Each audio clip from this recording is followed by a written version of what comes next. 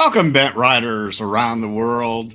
My name is Gary Solomon, and you're watching the Laid Back Bike Report.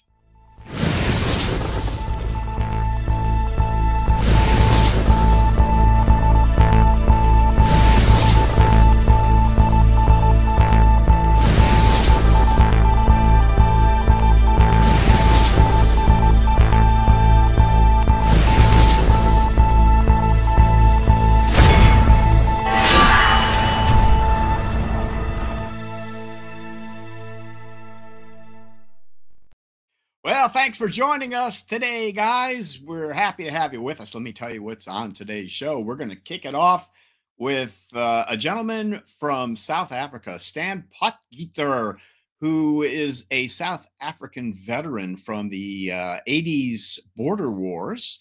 And uh, we're going to talk about some of the things that he's been through in his life and how he has used the Tadhole trike uh, an interesting new trike that I'm sure most of you have never heard of to uh, to help him overcome some of the difficulties he's uh, dealt with. So I think you'll enjoy that.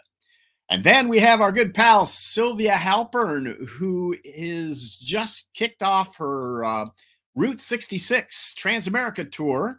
Uh, she's on the road right now, and we uh, had the chance uh, last week to uh, sit down with her and also um, with uh, Heiko Truppel from HP Velotechnik, uh, who played a big role in getting Myrtle ready for this tour. So uh, I think you'll look. I think I, I will be looking forward. I hope you guys will uh, like that uh, segment as well.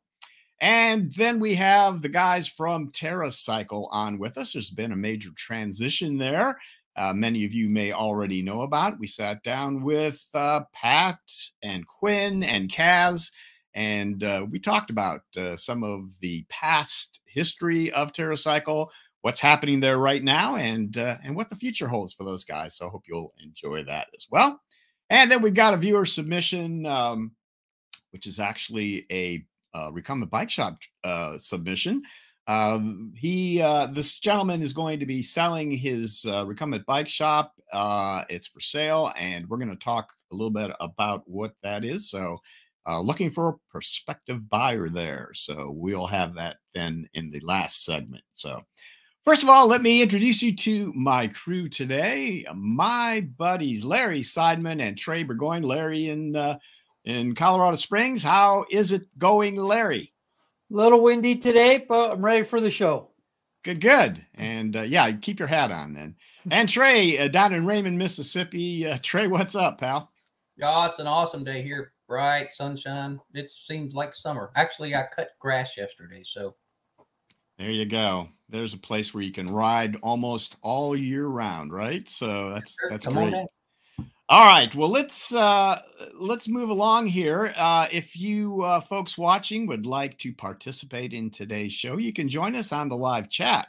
Uh, you can do so on Facebook by just posting a comment where you see this video.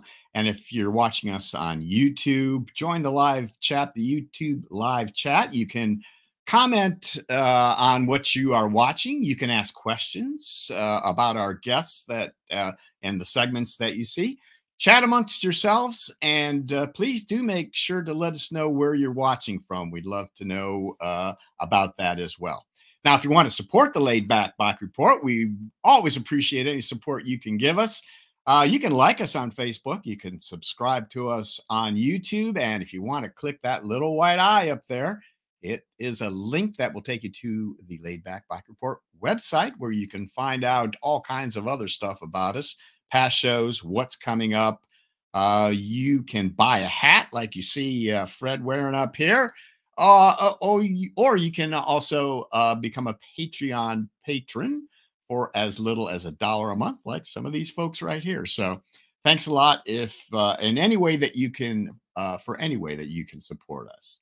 Now, uh, we are also supported by some wonderful sponsors. Let me tell you about them right now. First of all, TerraCycle, makers of exquisite recumbent parts and accessories for your bent, and Trail Side Trikes a fine recumbent trike shop on the Withlacoochee Trail in Florida and now in Knoxville, Tennessee as well.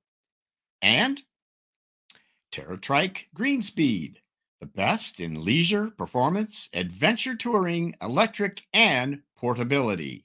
Wherever your adventure leads, TerraTrike will take you there. And Greenspeed, where Ian Sims designs bring performance through science and engineering.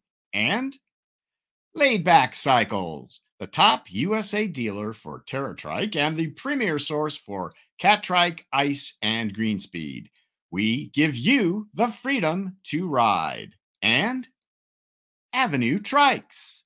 With the gearing you need and the comfort you want, it's time to enjoy riding again. They're in stock, ready to ship, and only $19.95. Dealer inquiries are welcome. And Azub. This company is a three time winner of the Trike of the Year award and has brought several unique technological solutions to the world of recumbent bikes, including the titanium front suspension on the Ti-Fly Trike. Combined with the tuned rear suspension, it provides its owner with absolute comfort throughout the ride.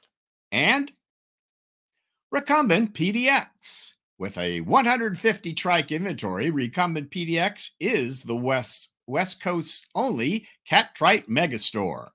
We have over 20 trikes on our showroom floor just waiting for you to test ride through our beautiful Portland neighborhood. Call or email to schedule your test ride today. And Eco Cycles, leaders in electric assist and customer support with a line of specialized conversion kits to retrofit just about any bent model out there. Check them out at cycles.eco right now. All right, guys, we are going to jump right into it. We're going to head to South Africa and we're going to talk to uh, Stan Potgieter, uh, who is going to tell us about uh, some of the harrowing uh, events that he has endured in his life as a veteran and about a new trike called the Tadhole trike. I think you're going to enjoy this. Larry, let's have a listen. All right, guys, we are here with Stan Potgieter from South Africa. Stan, how are you today? Very well. Thank you, Gary, and you. Good. And we're so glad to have you uh, on the show to tell your story. Uh, let's start out, if we could, at uh, the what I consider the beginning of your story here. Tell us about how you got involved in the military and what your service was like. Basically, Gary, in, in the way it was previously in the old government in South Africa, when you when you get to the age of 16, you have to register what they used to call for the ID book identification document, but it was actually more. So you get registered to, to enroll into the military. It was compulsory for every man in this country, if he gets to the age of 16, that he had to enroll. And when he finishes school, whether it was like we called it standard eight or, or um, standard 10 matric, um, you had to then do two years national service, which was compulsory. I finished in Standard 8 in 1982, and then in 1983, July, I was enrolled into the military. I was called up, and I went for my two year national service here in a town that we call Phalaborwa. Our training was 11 months, intense training, in military infantry training, intense training. And after that, then we get um, sent up to the border where the border war was since 1966 up until 1996. And um, we went for two stints. First stint was three and a half months, and then the second one was close on eight months that we were spending on on um, the border. All right. Now, what what you said the border? Tell me what, uh, where was this? What border was that? What countries the, were involved? The, the, border was we didn't fight actually in South Africa. The border was uh, we the old Southwest Africa, which is Namibia today, and Angola on that border, and we were fighting there.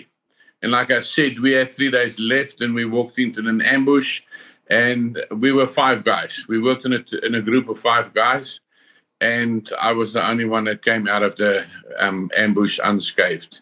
Two of my friends were heavily wounded, and the the, the, um, section leader was killed instantly. He was shot in the head, and multiple other um, injuries as well. But the, the worst one of the lot was in the head, the fatal one, to say it like that. So clearly, you suffered physical harm as well as psychological harm and that uh, and that has stayed with you as well. Yeah. i wanted to i wanted to if we can uh, jump forward then uh, a number of years. At some point you started thinking back over your service and the other veterans uh, that you served with and have and also who have suffered. And uh, you're a creative kind of guy good with uh, building things good with your hands and you uh, you started putting together some tributes. This, I think this is a way for you to give back. Tell us a little bit about how this came about. I had a talk show on the radio, and I sent a WhatsApp in because I asked people if they can send WhatsApps in and that. Maybe they've got their stories as well. And I did send that in, and I, lo and behold, they contacted me, and I briefly explained to them what happened to me and that. And then afterwards, they phoned me back and said, no, they, they picked up that there's something not right. Will it be fine if they sent me for treatment to a psychologist? And they were paying for everything. And, that, and because at that stage, my life was in total shambles. I was drinking, drinking on a Friday and a fights on weekends. That was standard practice for me. Riding motorbikes and fighting and that, that was my standard way of life. And then, um, these oaks helped me. This I went to see this uh, woman psychologist, Erika, and she started talking to me and helping me and everything. And then all of a sudden, I've always been making models and that since I was a little boy. I enjoy that. And then I started making these things. I I can't tell you why. I just saw these things, and I've always had this big respect for the military and that, and the soldiers and that. Since I was a little boy, I always used to read a little book, war comics and that of World War One and that of World War Two, and I saw these um, statues. Uh, what the guys did in America, especially after they lost friends or brothers in the in the war, and they they put the, the rifle upside down with his boots and his helmet. So that was like an inspiration to me, and I started making these little trophies with my CNC at home. And that rifle, that R4, that was the weapon that we used when we were fighting. And it took me 410 hours to make the first rifle. So it's on the scale. I'm a I'm a plastic quali- qualified plastic toolmaker by trade, and then I CNC that to the standard that it's supposed to be, and I started giving these trophies to family members. But first, the first three I made for the psychologist and the two people of the radio station that that took the time of the day that saw I had a problem and they took that time to help me very wonder yeah wonderful thing so clearly you this helps people that that you give them to it also clearly is a kind of therapy for you too and seems to help you now yes. Let's let's talk about the effects that uh, that your service and PTSD has had on your family as well. It's not just you that's affected. It's not just the soldier himself that's affected there uh, everyone that surrounds him also uh, pays a price. Tell us about how that uh, happened in your family. Well, the, if you look at the photos top left, that's me and my wife sitting there with my dungarees. Then the photo just beneath that, that's one of the outreaches in the morning where it was my daughter, that one that's next to me with the yellow top. It's Woody on, that's my daughter. Now, this little girl in the center we went on an outreach one morning to a very poor area, and this lady, this little girl, she had like cerebral palsy. I don't know exactly what they call it in English, but then um, she was part of a family of eleven children, and this child's mother. Just that December, we went there that, that, that January. That December, she sold two of her kids to the Nigerians to get money. And then the other photo there in the top right, that's another our old minister of the police back in the day when we were still in military and that and he was um, also he started the thing years after many years that he was serving in the police and, and as minister and the one there at the bottom that's we'll talk about that later that's a, a pastor that i met in botswana but the main thing to get back to what you asked me about what the impact that this thing had on my family you know the one day i was standing in a shop making it a shirt for myself for my trip. And I realized I was a veteran. I came out of this war and everything injured and that now mentally and more than physically. But directly connected to me is two children and a wife and my whole marriage was a joke, not a joke. It was a fight, a big fight, and I can understand why I'm, today why my wife was fighting because she was the one that was bearing the brunt. seeing my children, because of the way I was, the aggressiveness, the fighting. It was very tough on them, and that's where my organization started, wearing it for the wounded because I realized that day, me as one soldier, I came home with an injury, mental injury. But in that process, I heard so many people around me. I wounded other people's all around me. And there's so many of us.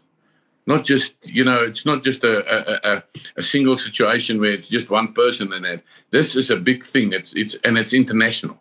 I see it worldwide because I see the same symptoms in the Americans, in England, in Australia, in, in Ireland. Everywhere you see the same situation taking place where these oaks isolate themselves, drink, fight. You know, it's it's it's it's it's the same. It's like we're all brothers. Now, how did you first encounter recumbents? How did you learn about recumbent bikes and trikes? On the internet, on YouTube, because there's nothing like that in our country. There's no stores that sells recumbent trikes or even the recumbent bicycle, the two-wheel ones. You, I've never seen one in my country. One afternoon, I was on my way home, and the company that I worked for, the Dell, their bus that took the, the, the people from the the guys that works for us from work to the station he, he made a judgment error and he knocked me over with the front wheel, started with the front wheel, and then he pulled me under the bus and he rode over my my feet physically out of my shoes and he rode over my whole bicycle with the back wheels. And that day, I got a fright. And then um, in December 20, uh, December 02, when I was working in the last factory that I company where I was working, I fell over backwards as toolmaker. I was picking up a tool, taking it to the surface grinder, and we call it duck boards. It's wooden boards that we work on, that we walk on. And my foot got stuck in one of these boards, and I fell over backwards with a tool on top of me, and I broke my back again. All right. And so you had multiple injuries uh, to your back and your legs, and this is what I obviously told you you cannot continue with an upright bike right? And you started, you, yeah, the doctors told you you couldn't ride anymore, and you you started seeing these recumbent uh, bikes and trikes. I was, you know, so cross. That was part of. I was so cross with the world because now the only sport that I had that I was enjoying, because I used to play rugby and then my knee was stuffed, so I couldn't do that. Then I rode motorbikes and I stuffed my back up, and then that also because I was riding cycle to stay fit for the motorbike racing. And now all that was taken away from me. And I said to me, You can never ride bike again. You can never ride bicycle again. It's not good for your back. It will never work. So, you know, that's part of this, this the, the reason why I went into this somber, this bad mode of myself and that with the PTSD. And I was cross to the world and everything. And one day I was watching these things and I saw this track. And this was very interesting to me. And I, and I started searching into it and that. And then I came across your show where you were showing all these different um, tracks and recumbent bicycles and and that and all those things where they also have these like shows where every manufacturer bring all their different new models for the year and all that. And that was so interesting for me. But I was starting to search locally by us, but there's nothing. There's absolutely none of that around here. And even in the cycle stores, if you ask the buyers about it, Nobody knows what you're talking about. And I got this idea in my head that I wanted, you know, to ride with a bicycle again back to the border. But there was no way. I couldn't afford one because if I buy it in America or any other, I mean, that would be the cheapest to buy it in America because if we buy it in Europe, it's either euros, which is more than the dollar, and the pounds is also more than the, the dollar. So the cheapest way is if I need to buy one or wanted to buy one was to buy it in America and then to import it. But with all the duties and everything, that thing would have cost me close on 200,000 Rand, which is, I can buy a very nice car this side with that money.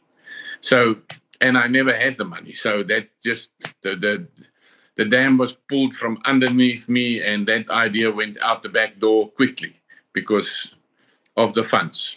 All right. So, how did you then encounter some people there in South Africa that might be able to help you. What did you What did you discover next? One of my friends there, Barent.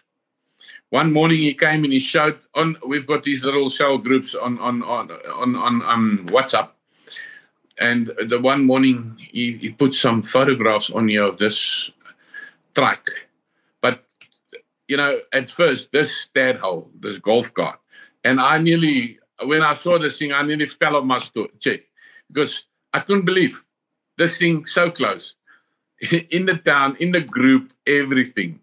And I immediately phoned Barton. I said to him, Yes, but what's this? What have you done here? And he explained to me, No, his son. This is actually the the, the pushcart thing that this whole thing started with. His son was a junior in, in university, and we've got a thing that they call UL when the first years get into university, they make all these big floats and everything that they go through the streets with and that, and it's all part of fun and that. And then they made this push car to start the guys. And with Barton being a, a mechanical engineer and he's got a doctorate in that as well, he's also a, a lecturer at the University of Johannesburg. He took this thing now to the next level and he started making that golf cart by the name of Tadhole, the one that you guys see in this photo. He made this and they started manufacturing these things or trying to you know. He designed the whole thing and he's manufacturing this whole thing except now for the motor and the wheels and stuff like that. But everything else you see there the handles the seats he makes the canvas for the seats himself. He bought industrial sewing machine everything he bends or every piece of metal on that bicycle he bends in his garage by himself and i spoke to him and i said to him you know what I've had this idea in my head of riding back up to Angola. It's two and a half thousand kilometers from where we stay to to just I don't know exactly for a lack of a better word, it's more like a pilgrimage to find myself. So for a year I had nothing from there. And then this thing just kept on growing in me even worse and even more. And then one morning I found him and I said, Listen, are you still in for this?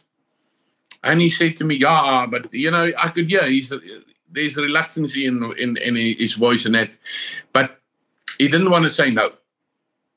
And so he said to me, "We'll talk about it again." And I'm like a month later, we speak again, and I found him and I said, "Listen, Barent, do I need to get somebody else to help me, or are you now really in this? Are you willing to help me?" And he says, "Yeah, let's do it." And then a month later, I phoned him and I said, Listen, you haven't phoned me. You haven't told me anything. I haven't heard from you. You said we're going to do this, but I haven't heard a word from you. Um, do I really now have to get somebody else? Do, is this now the end of our discussion and that? And it was a, a little bit of a heated discussion, but it wasn't a fight. You know, it wasn't a, argument to say it like that. And um, he said, Listen, I'll make a plan. All right. And we left it there. A week later, the guy phones me and you can show him the photo. He said to me, You better get to my house. We need to see where, uh, to measure you to so that we can see where in the frame we need to put the crank. And I mean, this is the actual truck that I now went and sat on that he built for me out of nothing. Stan, that's great. Let's. This is really exciting. I think maybe at this point, let's start taking a closer look uh, at this trike and how it developed. So let me go through some slides here, and you can talk about uh, what he did and what uh, you asked for and how this developed. So let's go here. Okay, go ahead. Well, this this is now since I've been that day there. They measured me. Now you can the guys can see yeah the cranks put in, but I'm sitting very much upright there because this thing was based now on the on on the golf cart. So you had different planes. If you see the gap between the pillar that's behind the seat and the, the upright of the seat, there's there's quite a, a big gap there. Even though we made the frame shorter, he made the actual frame shorter to, to accommodate the truck. But we kept it like that. This is how we then finished it. Baron then went and he made my chain there is three normal bicycle chains. It's 4.1 meters in total length. So we had to make these little like derailleurs that just keeps the. It's like jockeys. We call them jockeys here on the back of the wheel, your back wheel, and and that's just to keep the chain in line so that the chain doesn't wobble and jump around and that and fall off. So you make two of those things to keep it in line, basically. And this is now the day just before I rode my bicycle for the first time. This was finish assembly, and yeah, people, I don't know. It is, I don't know if there's words in this world that I can use to describe to you guys how I felt that day. Because this was like a pipe dream. And this man made it come to life for me. This was like Geppetto and Pinocchio, and I was like Pinocchio on that bicycle because this little boy started walking, and I mean, I could then ride, and I sit on this thing. You can see at the back, the seat's very high at the back behind my shoulders there.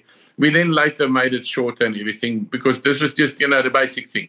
There were small little things that I asked him just to change, but the length of the, the, the bicycle, the actual track where the way I was um, pedaling, we didn't know anything how to measure the length because we were used to sitting on a normal bicycle, the normal way how they measure your legs and to set the bicycle up according to how you need to do it. And this, after that day that I had the first ride on my bicycle, we took the whole thing apart because it was still bare metal, and it was sent in for powder coating and this, and this is now where we're actually putting that track together. That gentleman helping me there is Lloyd. He works for Barent. He's his assistant and an assembler. And I was helping Lloyd there to, to put this track together. This is the rear wheel with a hub motor Bafang 750 watt. And the, that the battery goes into that um, configuration above the um, rear wheel to give us a bit of weight on the back wheel because that's one of the problems that we had. And this now, you can see there, that's where it stands, finished. And if you see this forks here in the front, they're lying horizontal. That's the way it's it's it's joined to the kingpin, and that's the way how the front wheel went in, and it had drum brakes.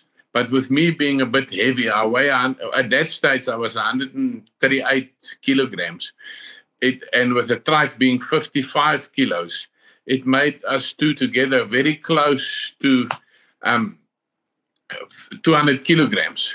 So those this of those those um hubs, those drum brakes, they they weren't very effective. They stopped me, but they didn't stop me in a in an emergency.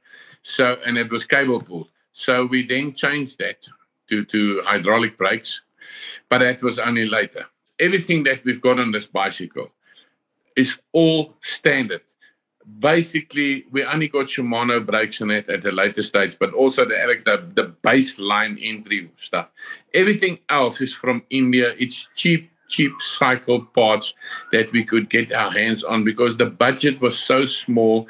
I didn't have a lot of money, nor did Barton have. So we tried to get the stuff the crank set in there. That's the normal crank that works with the old those round BB clusters with the ball bearings in. That thing has done 11,000 kilometers, no hassles. My chain, I got 9,000 kilometers out of a normal chain, and then I replaced it without any problems. I've never had a punch on this bicycle, and um, no mechanical failures up until now or anything. And I've done 11,000 Ks on my track this far. You guys can hear now the video that we've got, you can hear, see now what it looks like. This is the track with all the um, modifications and, and, and changes now. This is basically a walk around the bike. You can see this is the back. This is where my battery goes in, slides in, and it locks up with that. Um, there's a hub motor, 750 Bafang. And there's just this, this little box here, controller box. You can see the seat flips open. Takes another two spare batteries, one on each side, but they're not connected. It's just to to carry them with. And um, that side, that little boxy there, it's just like a um, like a carry-all on a car. It's just to put all the small little things that I need to carry with. Yeah, you can see we've got side mount wheels. This is basically my brakes. It's just water bottle holder. There's my little control panel for the battery, uh, for the, yeah, for the battery, for the motor and that. This one is just a thing that measures the distance and that. This here in the front is what I call is my little selfie stick. When I'm riding, I put my phone up there. I can have conference calls as I'm riding. I can speak to people. I can make videos. I've done that before. There you can see this is basically the suspension. it's very difficult to, you can see how it moves. Again, this, this bracket there is just my selfie stick. There's the gears in the front. Here you can see this is the actual like derailleur that we made ourselves just to get the um, tension on the chain with the chain being 4.1 meters. The right wheel there you can see that's our steering mechanism. That's physically how the steering works. And go through this side is just a little caviar box, like what you guys call a glove compartment. This is my, like my glove compartment. And that's basically it. And yeah, I've got a, a little mirror the side. Here's my gear shifter up and down. And my brakes are independent. Left brake, left wheel, right brake, right wheel. Don't have any brakes on the back wheel. It's uh, 8 speed at the back and a 3 speed in the front. So it's basically like 24 speed. And then I've got another 5 settings on my controller that I can set and take it to a 96 speed. And then I've got another couple of settings that I can play around inside the controller. If you look down here, you'll see there's another little derailleur type of thing. Call it a jockey, just to keep the tension on the chain and to keep the chain nice in line so it doesn't fall off and derail and all that. So that's basically my job. The long and the short of my trike. So where what have you done with the trike since? Well, if you look at this photo on the left, that's I, I received my trike on the Monday. This was that Saturday. We had a, a thing a, at the church where we would either walk, run, or cycle for Bibles to collect money so that we can distribute Bibles. And I, being thinking that I'm fit and I'm I would be able to ride this trike, I entered myself for the five kilometer ride, which I did finish, but I nearly paid the ultimate price. I felt like dying that day because you guys can see there was no battery on there and that, we didn't put it on. I was training to get my legs fit and that. So we, we, we, we didn't, the hub wheel was in at the back, but the battery was not mounted so that we, I didn't have the electronics yet. So that was a tough ride. And then I realized, listen, I needed to get trained. I need to work to get fit for this ride that I wanted to do of two and a half thousand Ks. So with the bicycle being so wide, I can't ride on the normal road. So yeah, but us, there's a, a, shopping center about a kilometer from my house. And um, they've got a big gym there and, and, they've got a massive parking bay. And, and it's paved area. So I went to the management of the um, shopping center and I explained to them what I want to do. And, and early in the morning, it's five o'clock, I'm there. And then I ride on the outside perimeter of this parking bay. And one lap around that is 360 meters. So I started riding there every morning and I do 1.2 kilometers every morning.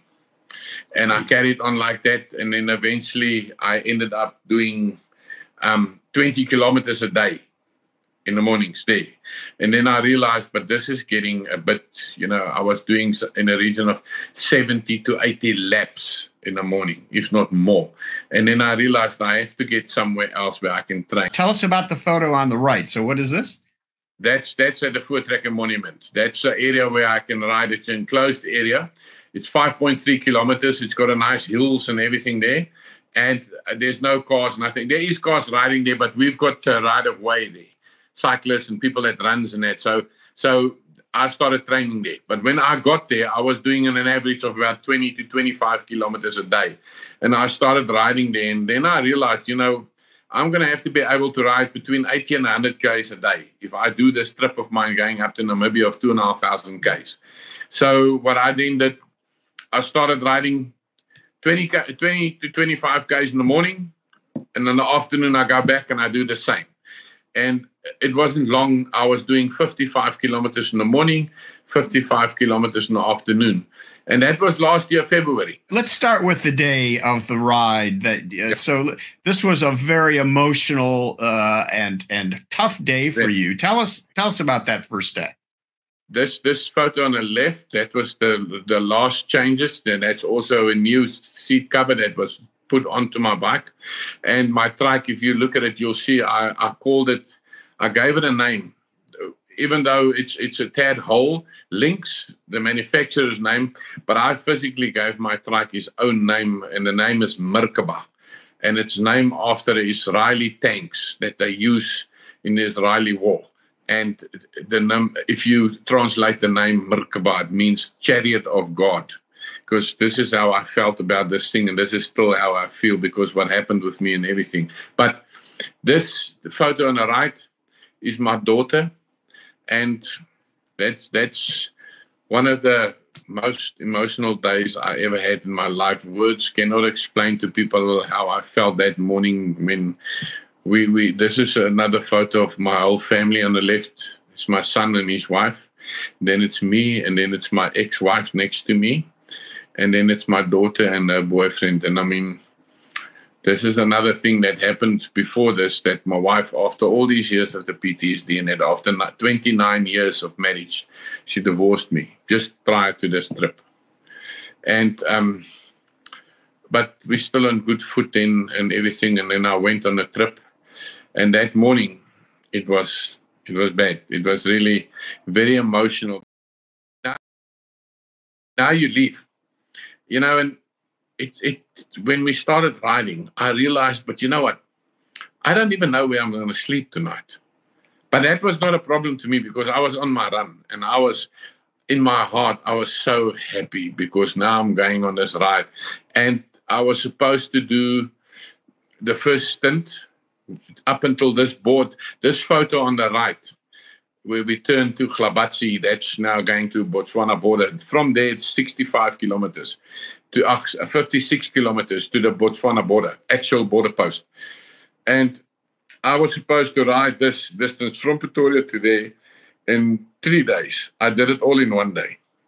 I rode 115 k's one time because when I started riding, I couldn't stop. It was I felt so nice that we just kept on, and we didn't have place to sleep because we were going to sleep in the forecourts of garages or anywhere where we could just stop the van and, and have a sleep.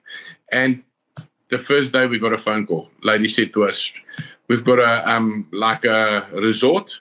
You guys can come sleep here tonight, free of charge. It's on the house. And it went like this right through everything. People filled our tanks with diesel. They gave us food. Before the ride, when I started training. I lost 10 kilograms during the training. When I came back from my trip from Namibia, I gained five kilos of the way that the people treated us. This was now directly after a week after we came back from our ride.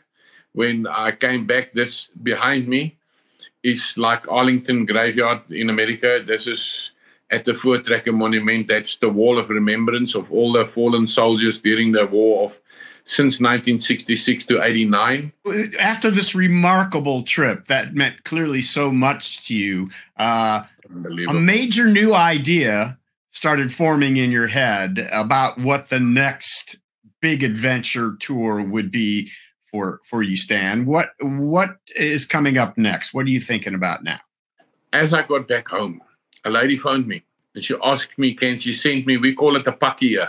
It's like a little parcel. And when we were on the border, that was a standard thing. Your family used to send you a little pakkie, pakkie like that. And it's got like sweeties in, or what you guys call now beef jerky. We call it biltong, a droewors. So things like that. There was biscuits and things like that in cigarettes and so. So I was thinking maybe this is what she wanted to do. Actually, when I opened the, the parcel, these little books were in it if you look at it, this is now just translated to the Afrikaans, but this book's origin is out of America. This is all about a guy, Mark, that was part of um, your military, and he went to the um, Afghanistan, and the same thing happened to him. He was an explosion in that, and then he he had PTSD. She then sent me this book and said to me if I can read it and that, and I was so happy. And I made connection with Mark in America, and we spoke a bit and that.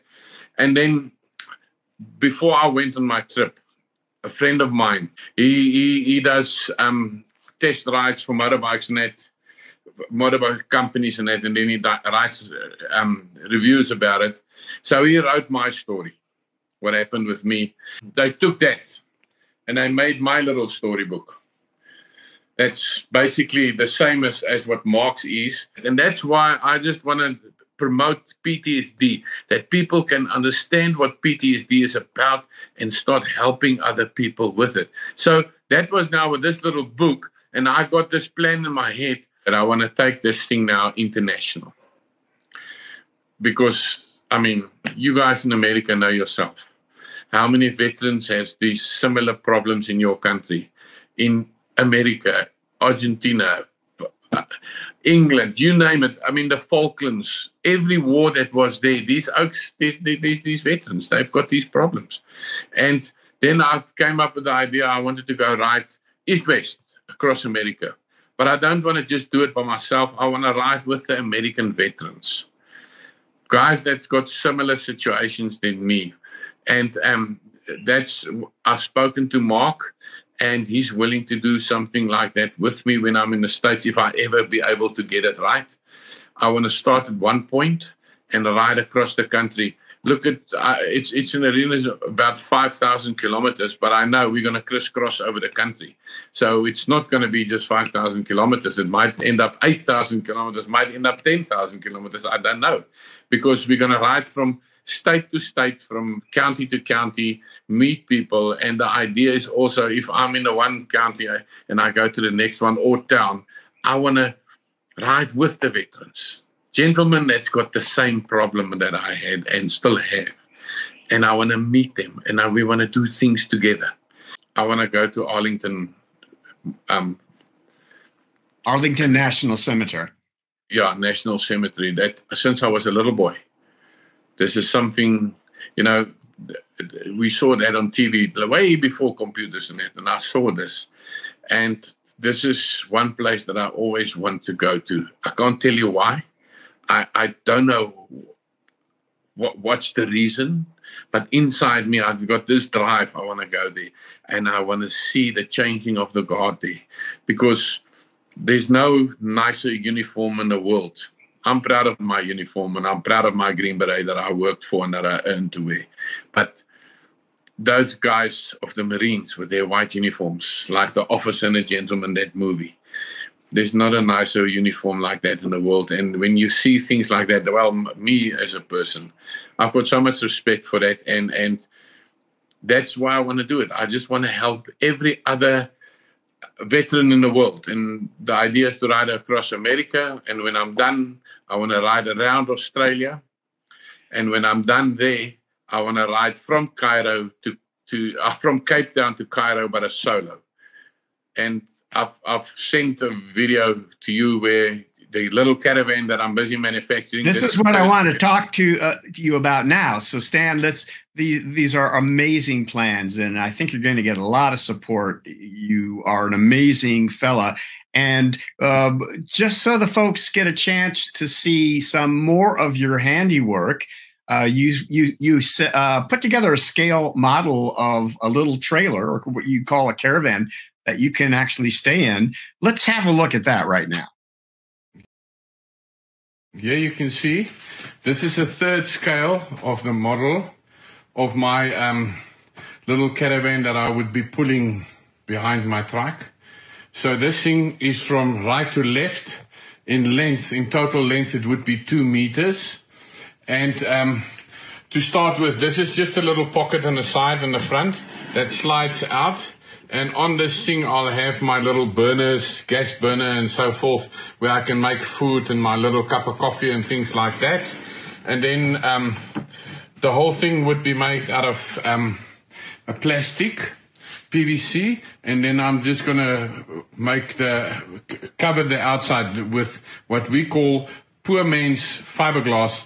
We use cotton rag and then we mix paint and glue and we just cover it with that that will just to to make it a more weatherproof so that it's you know waterproof water can't get into it.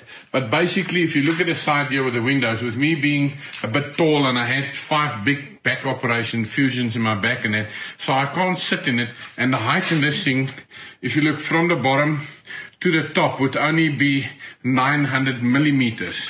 So I won't be able, with me being taller than that, to sit inside the door. So basically what I came up with is the whole of the back end. It just flips open. It's got a hinge door like that. It flips open and then I'll be entering in here from this side to sleep in. If you look at it down and below, my legs will be at the other end of that, at the bottom. And here, uh, in the top here, this side here, if you, the side entry there, here, I'll be putting some clothes and a little battery and things like that. It's basically just to be out of the weather, to sleep at night, to be enclosed from the weather and the animals and all like that. And this is basically my, what my little, um, caravan looks like if I ever get to make it. I'm busy now getting the, the stuff together so that I can start making the actual one to pull locally. And yeah, you can see that's how the door hinges. And the door just closes like that in the back and it sets in and it closes. If, if the door is open like this at night, when you open it, I'll be having, um, a leg this side, like a little jack that slides down a man, uh, you know, just a normal tube with a, with a nut. It slides down and the same this side, just to give it stabilization when I get in here. But here you can see this, this, this mouth of the back is big and open. So if I sit here in the mornings to put my shoes on, to drink a cup of coffee and that, it's perfect. And I'll be using exactly the same size wheels, the 16, well actually 20 inch wheels of the bicycles on this trailer. So the height will be exactly the same as my trike. So when I sit here at the back, it would be easy for me just to put my shoes on and all that in the morning and I can get up. There's nothing hindering me from getting up. My head won't be bumping or anything. And I just close this back end and off we go. All right, so that caravan stand is amazing. Now let's finish up with finding out how our viewers, uh, anyone watching this video, can help you to achieve the goal of you getting on tour in America and beyond. How can they contact you and how can they help you, Stan? Well, Gary, basically, um, the idea is you've you've got my email address that they can put on there, and then at one stage we want to try to see if we can if this thing will get from the ground up and if we can get um, a, like a crowdfunding type of thing uh, organized where people can make contributions because the big thing is, is is just to get funds to get the plane ticket for me to get to America. We're busy Tadhole with Barent. They're busy in Texas with a friend of his that used to work with him this side that's now stays in Texas to see if they can get this thing off the ground that they're going to manufacture the Tadholes in America. So now, if that works 100%, I'll be riding with a Tadhole in America because at this stage, I'm like the factory test rider. You know, I, my, my trike is the only one in the world, the Tadhole tricycle. There's, there's no other made yet. There's there's there's um one that was made for the a quadriplegic guy that that broke his back on a motorbike. So he rides it. It's it's very similar like the um the the, the golf tracks or the golf carts. It's it's with a throttle. There's no pedals involved in that. But mine that has pedals. That's pedal assist with the motor. That's the only one there is of that that whole tracks in the world. So the thing is, is if if if they can get it managed that side, then then I would do the ride there with one of the tadpoles. But if that not come off the ground, and then I have to make a plan to get a trike in America, which I would then have to use to ride across America. And okay, yeah, any one of the, yeah the the uh, the tadpole you being able to ride one of those tadpoles here. Uh, with uh, them being manufactured in Texas would work out great if we can make that work. So, yep. finishing up then, People should be able to contact you by your email, which I'm going to put into the description below, and also follow you on Facebook because you'll be making announcements, keeping people up to date then on yes. Facebook as well. And I'll put the link to your Facebook profile in the uh, description below. So, Stan, uh, thank you so much for uh, for spending some time. It's been a pleasure to get to know you, uh, to learn about your past, uh, the bravery, and your wonderful ideas to help other veterans around the world. Do you have any uh, final thoughts to leave uh, for us? Well, Gary, I'm just a mere mortal one, my friend. The thing is, is I must thank you guys because if it wasn't for your show that I found on, on, on YouTube and that none of this would ever happen because it started there. That's you. You were the seed. That's that's little seed, and this is where, where it's grown to now. And I mean, now you've given me this platform as well where I can speak to you, and you're willing to put this video out there. You know, I, I I've got no words to thank you. Well, you're very kind to say those things, Stan. I appreciate it. You're you're you're the guy that has done all the amazing things and suffered for so long. I'm very honored to give you a platform, my friend. So, I appreciate it, Gary. Okay. So with that, I think we'll leave it there. Stan, thank you so much. Good luck to you. We'll be following along and see how you do. Thanks, Gary. Go well. Thanks to all the viewers. All right. Quite a privilege for me to have gotten to know Stan.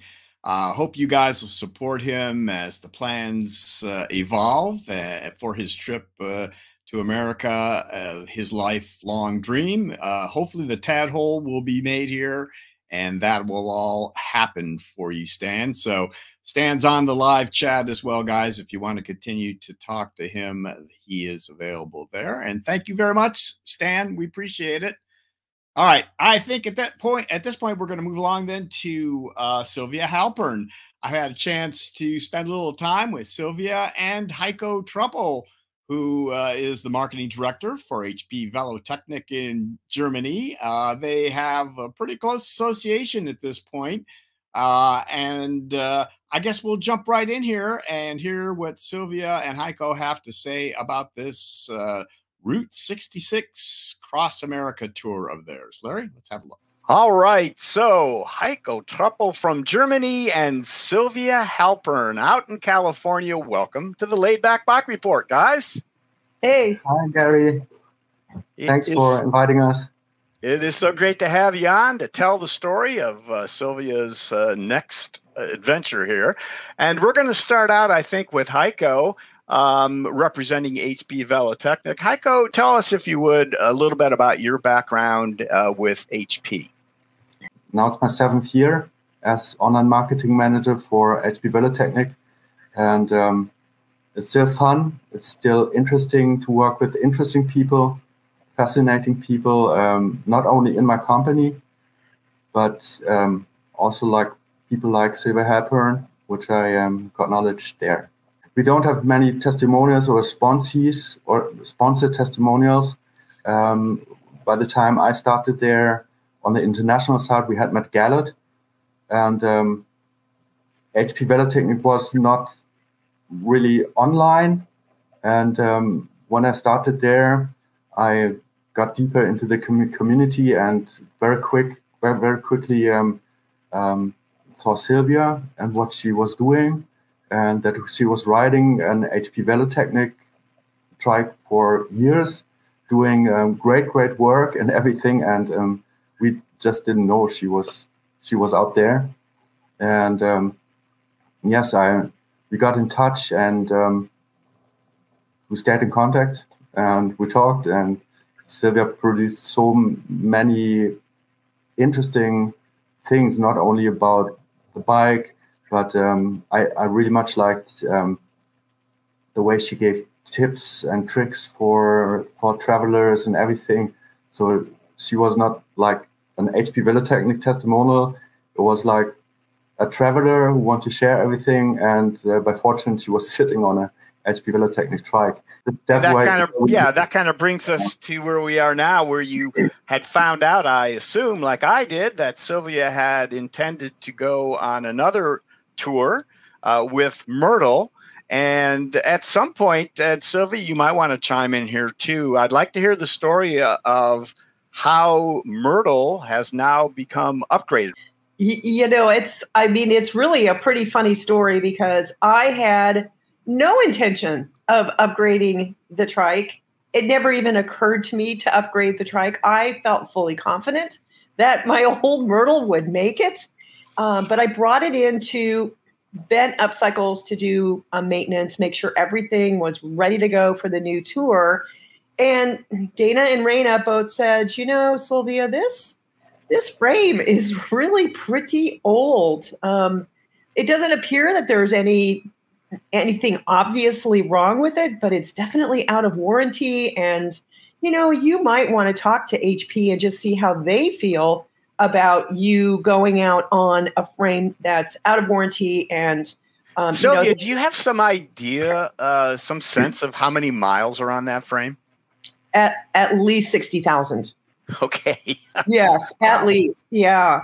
I mean, okay. it, it has been, I mean, it's not just a lot of miles, but it has been on any kind of transportation you can imagine. So, of course, it's been on a lot of airplanes flying, you know, to the beginning of tours and then back home. But during tours, it's on vans and taxis and trucks, ferries. It's been on canoes, right? It's been on boats. I mean, anything you can imagine. So it's not just riding. This trike has taken me seriously all over the world. So I have been on six continents in over 20 countries. Um, a lot of Southeast Asia, Morocco, Turkey, China, all over Southeast Asia. I've done two cross country US trips. The last big trip that I did, which was four years ago, I spent six months striking in Colombia in South America. Um, I've done six months in Mexico, Belize, Guatemala. So yeah, it's I've yeah, this trike has taken me a lot, a lot of places. Okay, and so maybe Heiko, can you chime in here then and tell us how you decided at HP to uh, upgrade uh, Myrtle uh, after was it after hearing about this upcoming tour? Yeah, actually, we uh, we've sent some stuff uh, before, like the trike fenders, and um, so we, we were open to support anyway. And the and, seat. Um, yeah, the seat, yes. Oh my God, beautiful seat. Yeah, you must have one of the first there. The question came up: Will it be enough? Will the trike has to go 9,000 miles. Um, it's her only only partner, so she's leaving the truck and the trailer behind. It's only the trike again, and uh, of course you need a reliable par- reliable partner there. Uh, and yes, the question came up: Is can you can we warranty that this frame will hold? And we said our warranty is 10 years. So after 10 years, uh, maybe it's just time for a new frame. This is the opportunity, and um, I believe uh, Sylvia will make another 60, 70, 80,000 miles on on this trike. Yeah. So, and you know, it was getting pretty close to when I wanted to start the tour, and I was a little worried, like, can we do this? Um, and I must, I have to tell you. So I went and I picked it up yesterday at BentUp Cycles, and they had the old frame. So I'm, you know, I see the old frame sitting on a stand at BentUp Cycles. I'm walking around it, and oh boy, does it look tired. It looks really tired. And I thought, you know what? That really was a smart thing to uh, replace the frame. It wasn't just you know, I think I it, it, made it really made sense when I saw the old frame. Raina, the uh, uh, the amazing mechanic at BentUp Cycles, put together uh, a time lapse of uh, the upgrade from the frame you see here to the new one, and so let's take a look at that. What a, what a big job! She's moving everything from the old trike and moving it to the new track. I, I, I never did find out how long it took her to do it in real time. It must have taken most of the day. Yes, I this this is a day's work, uh, and um, yes, the the uh, the job was not um, that simple because we could not send a standard frame kit uh, because we wanted to save the motor, and the motor system is um, I think we did it three years ago. Yeah, three, three years. four years ago. Yes, three years. And um, so Shimano Shimano already launched um, two more generations of uh, of the Steps E8 flagship, and uh, so it was a bit tricky. And um, I was worried and had an email with uh, Raina, and she was just like, "No problem, I can do that." and uh, yes, I see the Hi. result. Heiko, Um, tell us what exactly was replaced. So obviously the frame. What what all got replaced for Myrtle? Um, we we had to. I mean, the, we had to send a frame, and we had to uh, had to send a, uh, the harness, the, the wiring harness for the um, for the motor, and so Raina's job was to uh, split at the right split the motor system um, on the right spots to uh, reconnect it, the new parts and the old parts because you could not you could not um, use all the parts at HP Velotechnik, um, we do all the internal cabling, um, which is why we uh, why we didn't offer um, steps uh, retrofit kits for long. I I'm not sure whether we whether we offer it in in the states at the moment. Um, because we say the, the wiring the wi- wiring inside is so difficult um, that we want to make it ourselves and so Raina was forced to split it. She, um, but uh, yes, I mean it works. And when I see it, it's as if she was uh, trained in our shop. It's really amazing. Yeah, I asked her how how often does this happen where people move things from one frame to another, and she said it really isn't very often. And it's uh, it's already a bit tricky um, if there's no motor system. But if you have to cut a motor system with new parts, old parts, and bring them together, this is just uh, yes. And Sylvia, what uh, emotionally, how does uh, watching this and, and seeing what happened here from old Myrtle to new Myrtle, uh, how does that feel? Yeah, it's going to take a while to get used to this new. I, you know, I saw the old frame there in the shop, and it, oh, it was like kind of sad, you know. Um, and but it, of course, it writes beautifully, and I think I'll get used to it pretty quickly. Almost everything on it is, you know, pretty new. I think the oldest thing on the old frame was the Rohloff, which is four years old the um, Shimano Steps is three years old. Almost everything on the trike had been replaced at some point. I think the only things that are original are the front wheels and the brake levers. Um, I mean, the brakes are new, the rotors are new.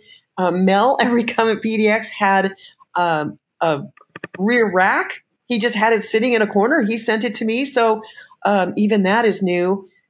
Um, the light in the front is new, and I've replaced the pedals. Um, so, yeah, pretty much everything is no more than four years old on the trike.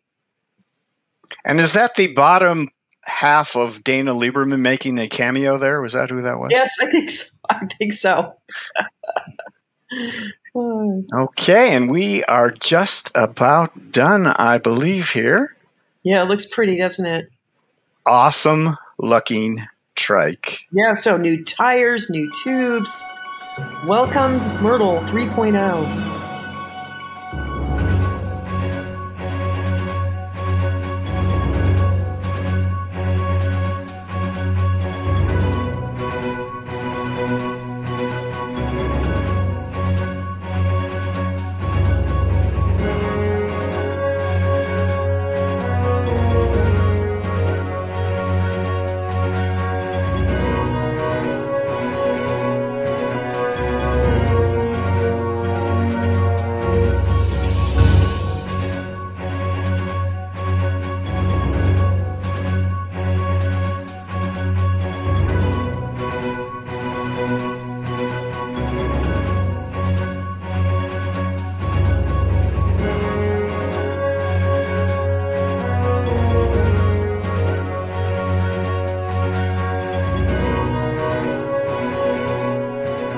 The first self driving trike from HP Velotechnik, ladies and gentlemen. There it is.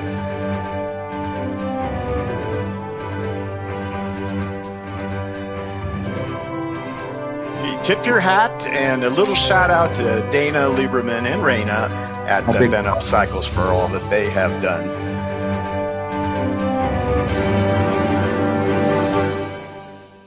How did you change from just triking uh, by yourself to going with a truck and trailer? Yeah, so this is something that happened just before the COVID pandemic hit. And I had done a tour down the Pacific coast in winter.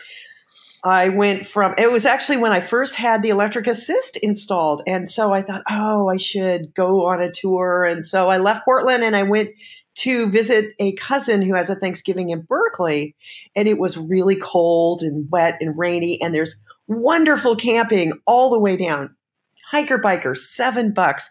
But it was so cold, I ended up staying in hotels. And, you know, hotels in the US are really expensive, like 150 you know, on the weekends, it can go up to $200 a night. And I made this joke about how I could have been making payments on an RV for the amount of money I spent on hotels. And I am telling you, absolutely everybody just got so excited. They were like, Sylvia, that is the best idea you have ever come up with. What are you waiting for? Get yourself an RV. I, I never thought of having an RV. But then suddenly I had friends who knew about RVs. They picked out the perfect RV. In fact, Gary helped me. Gary and Trey both helped me pick out the perfect trailer. I cannot imagine having uh, better advice than what I got. So I ended up with a truck and a trailer. And the whole point was this was the only way I could travel with my trike and have it be safe. So the trike fits inside the truck, and you can see I've got ramps so I can get it in and out of the truck bed. And I just went around looking for places to ride my trike. So I was visiting all kinds of rail trails and bike paths and, you know, groups going on group rides and club rides and all, really all over the United States for the last three years. You know, there's lots and lots of things about RVing that I really enjoyed. Um, but one thing that was not great for me was the lifestyle. I loved being able to drive around and ride my trike, um, but looking at the world through a windshield, I really got tired of it and I really missed being on my trike being able to stop and take pictures and look at things and talk to people and really go as slow as I wanted. And so I just said, well, why not? I, I, mean, why can't I do that? So that's that's really how it started. And I think the first time I really talked about it was at Recumbent CycleCon um, last, I guess, last October. Yeah, Yep. And so since then, you've you've put some plans together and uh, and and thought through what you're going to need and all that sort of stuff. So why don't we, if we can, start talking about it? Well, uh, first of all, when uh, what's the date? When is the latest? Uh, what what is the latest as to when you're going to be taking off? The start date, yeah. So um, you know, actually, it was going to be today, and um, I have had a number of things happen, so I had to push that off. But it's either going to be March 1st or March 3rd. And um, I have a friend that's going to drive me to this, the closest point on Route 66 here in Southern California. Um, and and that's that's where I'm going to be starting. Now, the biggest difference between this tour and previous tours is I'm going to be using electric assist. And because I'm going across the country, um, you know, I I was a little bit well. I, I guess I guess my my uh, concern was staying in hotels is um, prohibitively expensive. It's really a budget buster, and I need to camp probably as much as I can. And so I have two batteries for the electric assist, and I felt pretty confident that would get me uh, one or maybe two days without needing electricity. Uh, but I kind of wanted to have the freedom to go three days. Like, for instance, there are campgrounds that are considered primitive. Um, you know, they're bona fide campgrounds, but there is no electricity. And so I wanted to uh, not have to worry about charging up every day. And so I asked Heiko if he could send me a couple of batteries. And he said yes. And so now I'm traveling with four batteries. Uh, but what this does is it makes the weight of my gear beyond the weight limit for the rear rack of the trike. And so I have switched to a trailer. So I'm going to be pulling everything with a Burley Nomad trailer. So I'll have two batteries in there and then um, all of my gear. That's probably the biggest change. So tell us a little bit about uh, the route and how you plan on coordinating uh, where you are on a daily basis for this tour. Yeah, so another really big change for this tour is I have always traveled in the winter over the winter months and then spent my summers in Portland. And now that I have my RV, I have given up the house in Portland, which has opened up touring in the summertime. And so I can explore more of the United States. I'm really excited to be able to do a route that has been on my bucket list for a long time. And so I'm starting in Southern California and I'm going to be taking Bike Route 66. This is a route designed by Adventure Cycling Association. They're a bike advocacy group, and mostly what they do is design bike routes all over the US and they uh, make very, very nice maps for them. It's, you know, if I have a choice to do an ACA route, that's definitely what I'm going to be doing. So that's going to take me to southern Missouri, maybe close to 2,000 miles. And I've already been in touch with people along the way. So I know there's people that are going to ride with me, uh, meet up with me, groups, um, individuals, people are hosting me. Um, there's a group in South Southern Missouri that is going to get me from Springfield to the Katy Trail. The Katy Trail goes across Missouri. I think it starts in Clinton and it goes to St. Louis. And then from there, I'll take another adventure cycling route from St. Louis to Pittsburgh, where I'll pick up the Gap, the Greater Allegheny Trail. It's a trail I have wanted to do for a long time. And that will get me to another trail, which will get me to Washington, D.C. And I hope to be there at the beginning of June. And of course, I have electric assist, so I can't get those batteries on a plane. So I thought, well, I could rent a car, rent a truck, or I could just ride back. So I decided, I decided I'm going to ride. So from um, Washington D.C., I'm going to get on the Trans Am, Trans America bike route. This is the oldest bike route across the country. It was designed for the bicentennial in 1976, and it goes from Virginia and it ends on the Oregon coast where the recumbent retreat is held every September. So my plan is to write it and be at the recumbent retreat. The um, it's the weekend after Labor Day every every year on at Fort Stevens State Park. So that's the big bulk of my route. And then from there, I'll go down the Pacific coast, which I've already done three times. And then from Los Angeles, I'll make my way back to the church here in the desert near Palm Springs. So what are we talking? Nine, 10, 11 months kind of thing then? I'm thinking 10. Yeah, nine, 10 months. Yeah.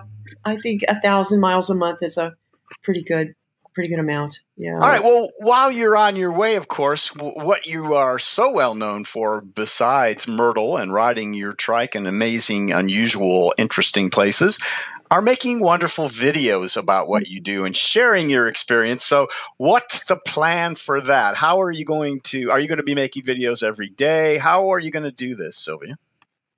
Right. I mean, I I really do have a plan. I do hope to stay on top of it. Probably not every day, um, you know, because I also have a blog. And so it takes at least two hours to do a video, and it also takes two hours to do a blog. And so I'm hoping to do uh, videos uh, maybe three, four times a week, and my blog once a week, more like a summary of the week. And so that's that's kind of my plan, and I hope I can I hope I can stay on top of it. So this is designed by a triker from Southwest Missouri. His name is Andy O'Neill, and I was online and I, you know, a lot of people say, hey, when you get wherever it is, you know, let us know. We'd love to see you, host you, ride with you, whatever. And I always have to say, you know, I don't, I've just never had a way to organize. I don't know how to keep track of contacts so that I know who lives where when I'm going through it. And Andy said, you know what, Sylvia, I think I can help you with that. And so he, I mean, he just donated his time and he has put together this contact form which is there's a link to it in the description of every video. And I would love it if people could fill it out so that I know where people are and I can uh, send out emails. So, for instance, really just a couple of days into my tour, I'm going to cross into Arizona. So, I'm going to send out an email to all the people on the list that are in Arizona and say, hey, I'm coming through. Um, if you would like to uh, ride with me or get together, um, let me know. And so that's pretty much how this form is going to be used. Good. And then finally, let's see how uh, we can uh, help Sylvia with uh, this amazing tour that she's on. Besides meeting up with her and watching her videos, uh, I think a little financial help in some ways could be beneficial as well. Sylvia, what have you done to to help yourself financially on this trip? Yeah, this trip, you know, this is the first time that I have ever you know, publicized one of my tours. Typically, I just pick a place and I just go and I ride, and you know, it's just I just do what I do. But the United States is um, it's much more expensive here than other places. Like for instance, to stay in a hotel, even in Europe, Spain, France, Italy, Portugal. I could find a place to stay for $30, $40 a night. And, you know, it's in the center of town, it's safe, it's comfortable. And that's just not possible in the US. And so even though I plan to camp as much as possible, even, you know, the camping fees in the US are probably 30 to 50 or 60 dollars a night. Uh, but the weather, of course, is going to make camping impossible. So I know I'm going to have to be in hotels for for safety. And you know we're talking 150 maybe over 200 dollars. And so i have come up with a, a few ways that i'm hoping i can get support from my uh, followers. So i have um, one is i set up a patreon account. So this is a online account that you join and you can join for as little as a dollar. I think gary has a patreon as well. And i have set up um, a number of different tiers so you can just pick one of those and makes it easy to uh, support my tour. And then another thing that i've done is um, you know i have this logo and um, you can see it on the screen there. So, you know, this logo was designed by Matt, and he was just playing around and he said, Hey, Sylvia, I think you need a logo. Here, I came up with this thing. Do you want it? And I love it. I think it's really terrific. And so I found a, um, I found an online store. Let's see if I can get it centered. There, that's better. Um, here we go. so I found a store. Um, it, there's a link in the description of all my videos, and you, uh, they have a number of products that I have picked, and I have put my logo on them. Um, so there's a hat and a mug, and I have a little banner, t-shirts, long sleeve hoodies, um, a bandana, and um, that would be another way to support my tour. And, and uh, Sylvia, we'll put those links in the description of this video as well, and uh, of course, uh, linked to your YouTube channel where they can find that. And yeah, folks, uh, help Sylvia out if you can. I mean, she is a true adventurer, someone that so many of us admire and have admired over the years. So this is a great new uh, tour coming up, and we hope you will support her by showing up, maybe riding with her uh, buy some merch, uh, Patreon, any of those things would be great. HP Velotechnik has uh, supported her. Clearly, we've talked about that. Do you have any final thoughts then? Yeah, I just want to say it's so fun to be on, online with with Heiko. This is the first time that we actually are speaking uh, speaking together, and gosh, I've known him for many many years, and it's yeah. it's really fun, really fun. Yeah, I I really like you guys a lot. Yeah. Thanks for the occasion, Gary. That's well, I know Heiko, uh, have known him for a number of years, have had the pleasure of hanging out with Heiko. He's toured us around various parts of Germany. Uh, yeah, he's a pretty special guy. I usually don't like to say that in front of him because usually I'm telling him what he's doing wrong. But in this case, I'm going to say it. he's a great guy, and we love the people at HP as well. So terrific, guys! Thank you so much, Sylvia. Best of luck to you. We're going to be watching you. Uh, maybe we can uh, check in with you on the tour a few times. You can come Oh, on the show and let us know how you're doing. We'd love to do uh, a hear from you then. where's do a where's Myrtle segment. Exactly. Where where is new? Where is Moto Myrtle? Yes, where in the U.S. is Moto Myrtle? so great, great. Anyway, so thank you very much, uh, Heiko uh, and HP for all that you guys do, and Sylvia as well. It's been great talking to you guys. Thanks. All right, thanks, guys. I stay in touch. All right. So Moto Myrtle actually is uh, is in Arizona. So Sylvia actually took off yesterday. We recorded uh, that interview uh, last week. So we wish you all the best, uh, Sylvia, and uh, we we will be following along the way, as I said, and uh, hopefully catch up with you uh, on your tour. All right, let's move on to the next segment, which is TerraCycle. Many of you are aware that TerraCycle is in a transition. Uh, Pat Franz is retiring, and uh, we sat down last week with Pat and the new guys, Kaz and Quinn, and uh, talked about what's going on, what has gone on, what's going on now, and what will be going on at TerraCycle. So, Larry, let's peek in at this. We are in TerraCycle, and uh, we're visiting with our pals Pat and Quentin and Kaz. Guys, how are you doing? Doing good. Doing well. How's it So- going, Gary? We're doing great here. We're in Portland, Oregon. You guys uh, will have a little story to tell us today uh, about a transition, and uh, we're going to first of all take a look at the a bit of the history uh, uh, of TerraCycle, and uh, then we're going to bring you up to date on what's going on right now, guys. So let's start with uh, Pat, who of course is the founder of uh, TerraCycle. Pat, uh, let's talk a little bit about your history. We've got a nice little slideshow here to Right. uh, to pop up. Let's start with this right here. Ah, yeah. I was riding around Crater Lake on a the first Terza I ever made. Yeah, ter- so yeah, so Terrazai is one of the is was a, a bike that you created actually, and uh, let's let's jump into the uh, some of the innovation innovations uh, that you came up with early. So I, I used to be a hardware software engineer in the high tech business and uh, started a couple companies and um, it's it's an intense business and uh, you work long hours and you make products and they have you know six months in the sun and then somebody else comes along behind you and comes up with something better and faster and whatever.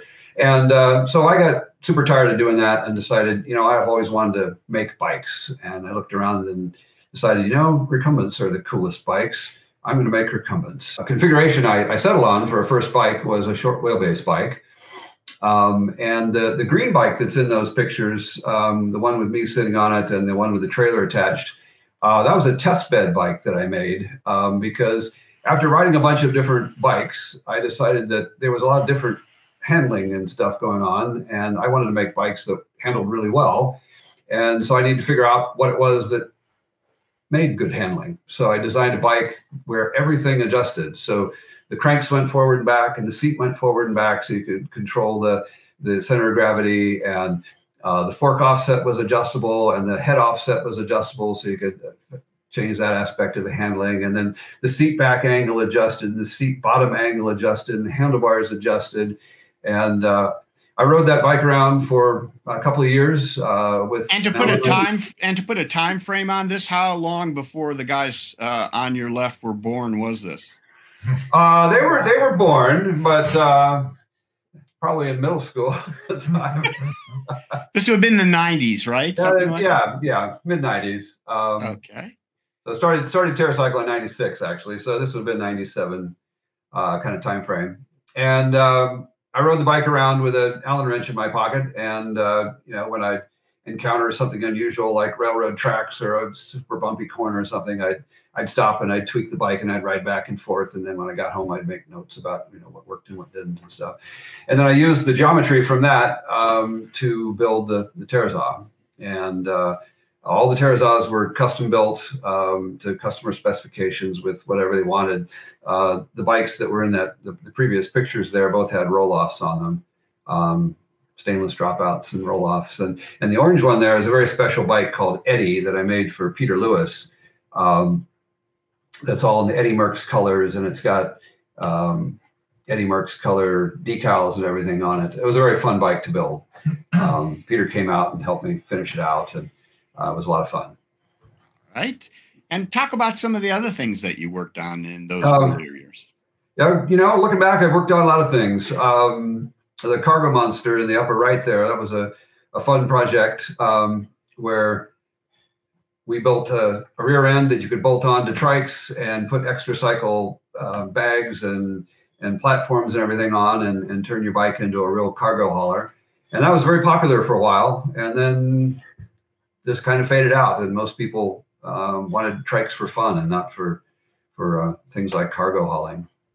Um, and that odd thing uh, in the middle lower right, um, I, have done several projects for um, an outfit uh, called the Tetra Society. They're out of Vancouver, Washington, or Vancouver, BC, um, and they hook up people that have some special need with people that like to make things. And so I made several projects for them, and that particular one is a crawling aid for somebody that was uh, very seriously injured in a car accident. And uh, in order to learn to use his body again, um, his doctors wanted him to start from the beginning. And then the, two other pictures on the, the bottom left there are uh, 23 tooth uh, idlers. Um, the, the bare one there is one of the first ones that came off the machine. And then, of course, the, the black one is uh, all finished out. But, the idlers, of course, are what you became known for, uh, among many other things eventually. But yeah, they're, they're one of the, the, the two things. Um, you know, when, when I started out making the, the, the Terrazah, I made a lot of parts for the bike that um, I didn't think there were good enough ones out there in the market. Um, so I made the idlers for it, and I made the the folding stem for it, and and things like that. And people would come to me and say, "I really like your bike, but can I buy one of those stems for my bike? Can I buy the idlers?" Um, and then when uh, came to me and wanted to buy 500 uh, of the stems, it was like, "Oh, yeah, um, there's kind of a market for the accessories. Um, and while I really liked making the bikes, uh, it was a lot of work, um, you know, per bike. And I wasn't making a lot of money um, for all the time that I was putting in on making the bikes. But I had, you know, CNC machine ready to make more stuff. So um, I decided let's address the parts market because no one else is making all the little parts that really are necessary to make uh, recumbent riding fun. So I switched over to, to making parts. That's awesome. Well, that's great, Pat. That's that's a really important part of the story there. So that's great. All right. So then uh, you started the business. You're doing that, but in the meantime, you spent plenty of time on trikes uh, um, and touring around various places. Why don't you tell us a little bit about uh, the highlights of your some of the tours over the years? Well, one of the most fun parts about being in the bike business is getting to go and ride places and meet other cyclists.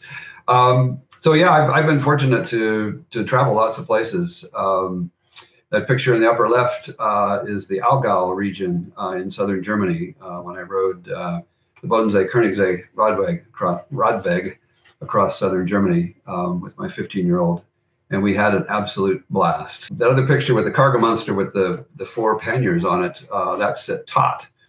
Uh, and I believe that's Lonnie Morse riding that trike. Um, then the lower left one there with me, uh, you can't really tell from that picture, but I am completely soaked and dirty because uh, that's at um, the recumbent retreat out on the Oregon coast. And uh, sometimes it rains at the Oregon coast. And uh, that weekend it happened to rain a lot. And uh, that was a like a 40 mile ride or something like that. And I didn't have fenders. that was a, a brand new to us um, GT7. Um, And uh, yeah, fortunately, it wasn't too cold, but uh, uh, there's dirt from the front wheels uh, all up my arms. anyway, after a little while, you get so dirty, you don't care. You just figure, I'm going to take a shower when I get back. The trike there by the river, that's uh, also at Tot. Um, that's a little ways from Enaville. And uh, there's a, a cool rock right by the edge of the river. So I like to park trikes on there. I even have a picture of a velomobile parked on that rock like that. uh, it was a little bit harder to get the velo up there than the trikes. But anyway, the last picture is a very fun trip I did um, with you, Gary, actually. And um, Mel from uh, Recumbent PDX. That's up in uh, San Juan's. Uh, yeah, one of one of Mel's one of Mel's tours up there. We have had fun over the years on that. Yeah, super fun, super fun time up there. All right, all right. So let's jump back to uh, the shop. Back in the earlier years, you've had two shops, so you're in, currently in a newer shop, uh, but this was the first. So uh, tell us a little bit about that old shop and what went on there. Well, that old shop was originally built as a dairy barn, and then it was used for to fix cars. And um, when we were there, um, a printer, printing business owned the building. And uh, I was riding by one day, coming back from my daughter's school, and I noticed this this building that looked like they had some less than ideally used space. So I popped in and talked to the owner and wound up renting a little 400 square foot room. The rent was right, and all my spreadsheets started working. So um, I had a business and moved in there. And uh, the picture on the bottom there is the inside of the shop. Um, so you can see it wasn't very big, but I, I, packed a lathe and a welder and a CNC machine and a desk and a workbench in there and uh, and made bikes. it was a little bit warmer and a little bit drier than it was outside was was yeah. Pat's common refrain about the old shop and you kind of you would work by going from from heat lamp to heat lamp at each of the stations to do to do whatever needed to get done. Yeah, so was, clearly uh, you didn't ask much from it, but you got what you needed. We, we didn't ask much. We didn't pay much. Um, but uh, it was a fun place, and, and we wound up uh, renting most of the building from them by the time uh, we moved out uh, and we would sublet um, parts of it to other bike builders. Um, but the the picture on the far right there is one of the parties uh, that we'd have there. Uh, the local recumbent club would hold races every Memorial Day weekend. So the last weekend in May, they'd hold races, and we'd have an open house party and invite everybody over. It was always a very good time.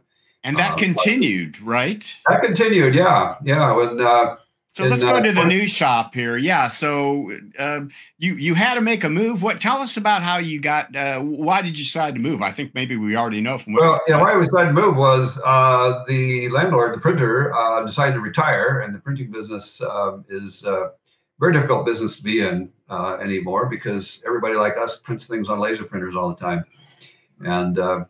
so he sold the building and retired. Um, I actually tried to buy the building, but uh, the city wanted it to be condos, and uh, they made it clear that they did not want industrial use there anymore, and would not be approving things if I wanted to do things. So um, I looked around, looked around, looked around, and found a very nice building, um, not too far away, and we moved there uh, in 2012 in the middle of winter, um, and uh, that was that was quite an ordeal. Um, Wow. So you've been there over 10 years already. It's uh... oh, over 10 years in this building. Yeah.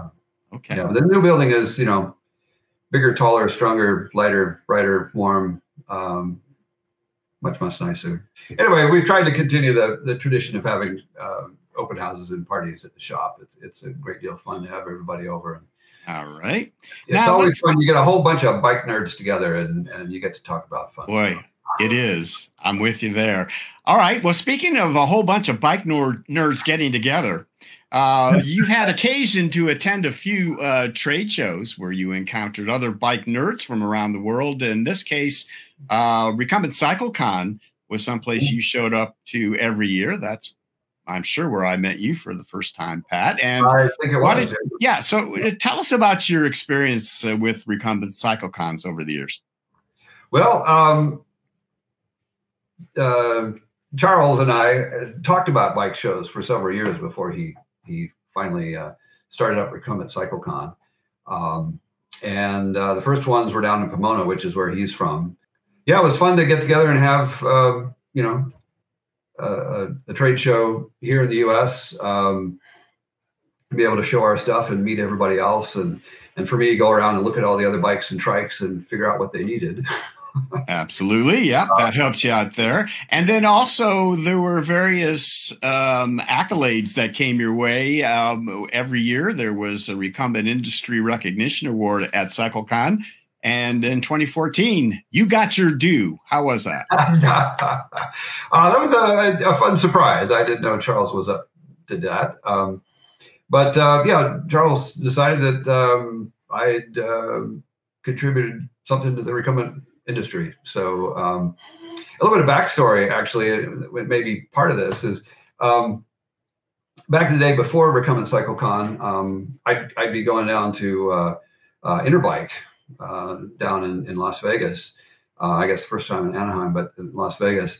And I decided that the recumbent people there were all spread out and and they didn't really know each other and stuff like that. So uh, I organized dinners uh, to get everybody together and, and, say, hey, let's all meet at this one buffet, you know, tomorrow night at, at seven or whatever. And uh, and that pretty quickly grew to um, I needed to um, like reserve a separate room at the buffet and sell tickets and stuff like that uh, for everybody coming. Um, so there was a clear need uh, that people wanted to get together um, in the in the industry uh, just to, to, talk about common issues and problems and working together and, and stuff like that. And uh, so um, that was, I think, part of it. And Charles and I started talking then, um, and that kind of morphed into uh, recumbent cycle. To, yeah, into the largest trade show for recumbents here in the states. Anyways, now there is a larger trade show that's. Uh, that's a festival unto itself, held in Germany every year, called Spezi. and uh, we've both been there. It's an amazing, uh, it's an amazing place, and there's, there's going to be a change this year as it's as it's moved to, with new mm-hmm. ownership. But tell me about your experience with Spezi, because you also have uh, a bit of business that you do in Europe. What's what's that yeah. about? So I've been to Spezi several times. Uh, it's always a fun show. It's always a amazing blizzard of work, um, and you know, meeting people and learning things. Um, but it's a lot of fun, and and you know, part of the show is is is business and showing people things. Um, but the, the spirit of the show is just very fun, and, and people go there to have fun. And uh, Kaz and Quentin can attest to that. Um, it's it's a lot of fun to go to. Yeah. Um, so we've been there several times. Um, the the first time we went uh, was 2008. That's the picture on the lower left, lower right there. Um, that um, our uh, EU distributor Acleta um, had a booth there, and Acleta was also the distributor for Ice Trikes, and so they had an Ice Trikes and uh, TerraCycle booth. And I think after that, um, Ice started having their, their own booth. They realized that the show was was so important that they needed to send their all their own people there. Um, yeah. But uh, yeah, that, that picture of me with the suitcase is uh, getting ready to go to Spezi 2008. Um, so in the, in the, picture with all the the green uh, pop up tent there and stuff, uh, that's Quentin there in the background in, in, the in the black shirt. All right. Well, Pat, that's great. Let's, uh, if we could, at this moment, then let's uh, get a little bit more background on the guys uh, on your left there, uh, yeah. who are part of TerraCycle and have been for a little while. Uh, Kaz, why don't we start with you? Tell us about uh, your background and how you got to, to TerraCycle and what it's been like up until recently. Yeah, I mean, I I've always kind of liked bikes, you know, along with a lot of people who are already here. Uh, and then I graduated from college in 2010 in the midst of a recession, looking for any job I could in the world. Uh, I got a job at a little TerraCycle shop, uh, just tagging and bagging, just doing things in the back. Mm-hmm. Uh, and then eventually, Pat ran out of work for me. So then I got a job with the woodworkers next door. And then Pat had more work because it's seasonal. And so it, it, all came back in the summer. And that started ever since then. Yeah. Uh, it's kind of a slow, gradual build, working my way through pretty much every position in the shop. Well, what, what Kaz isn't saying is he's really smart. and He's really quick with things. So I would find more and more things for him to do. Which was a smart way to go. I, I, I, give them things to Kaz, and they would they would get done well. And uh, I appreciate you know, that. As, as, an employer, that's that, that's that's a, a, a, very cool thing to have. Um, yeah, that's what you're looking for, isn't it? I mean, for sure. Looking for. And so, uh, yeah, Kaz just kept kind of doing more. yeah, I mean, it's to Pat's credit, he keeps feeding you things uh, as an employee, and so you know, it got to the point where nowadays we're doing a lot more here, uh, but it's mm-hmm. You know, it's boiling the frog or whatever you want to say. Uh, it doesn't feel like a, a, gigantic climbing the mountain. oh, there it is. You're climbing a mountain. There it is. All right. So uh, with that, let's move over to Quentin. Quentin, what is your backstory here with uh, TerraCycle?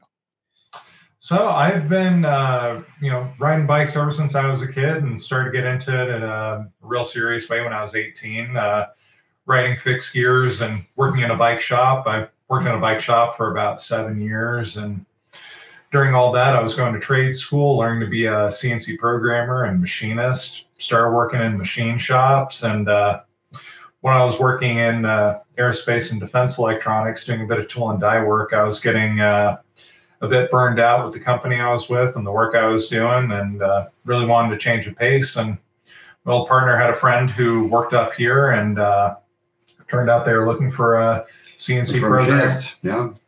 It's like, oh well, we know somebody. Why don't you come on up and uh, give the place a look, see what you think? And a few short months later, I uh, moved from LA to Portland. And and when was that, Quentin? That was in 2018. Yep. Okay. Okay. Got here in the summer. All right.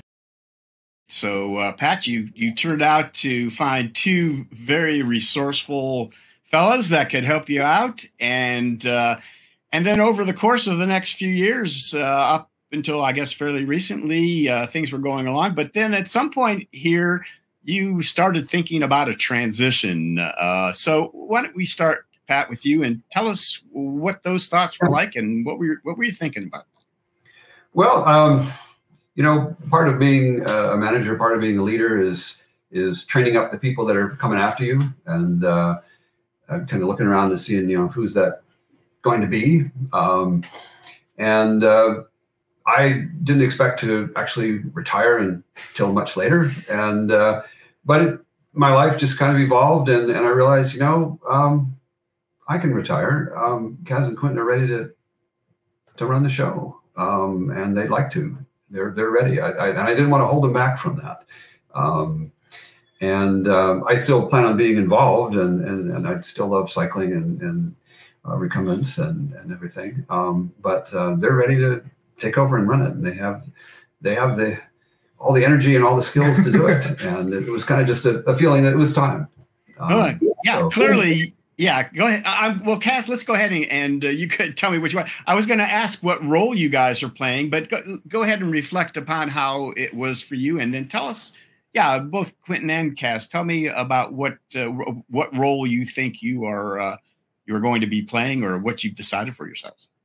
Okay. I, first, I just wanted to add on to what Pat was saying, where we really kind of started talking in earnest about Pat's retirement in 2019, mm-hmm. uh, late 2019, which then turned into early 2020, which then turned into a Something reason to yeah, in the world in the middle of there to not do it right away. And so this is, and maybe from the outside it seems sudden, but for a lot of us here, it's been something we've been working on for for years in kind of an explicit manner. Uh, so yeah. Good.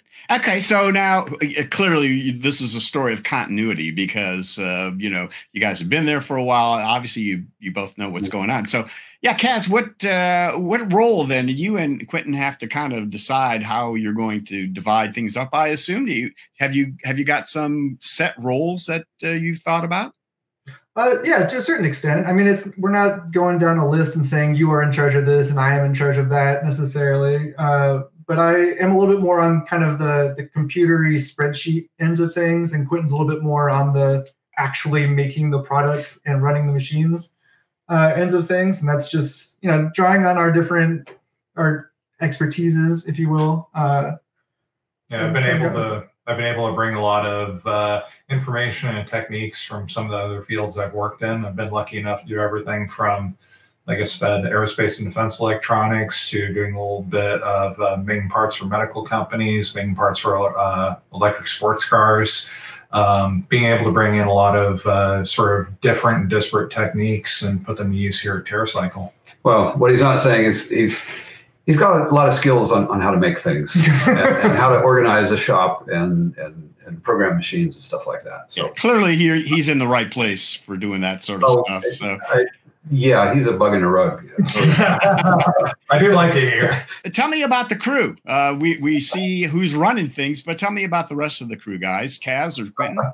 Well, they're a bunch of cut ups, obviously. right. Uh, I mean, it's just it's a it's a great we got a great group here. Everyone loves each other and gets along. Uh, even to the point that you know Aaron Hand, who works remote, uh, answering a lot of the emails and whatnot. He's the guy in the trike there, and we didn't want to leave him out, so we made sure we, we kept him in because he's just a just as much a part of the family as anyone else. Uh, besides, he has the sense of humor to appreciate being put on a trike like that. He doesn't like showing up as a stick person. Yep. All right, let's go along here, and this is more day to day. What's going on here on this table?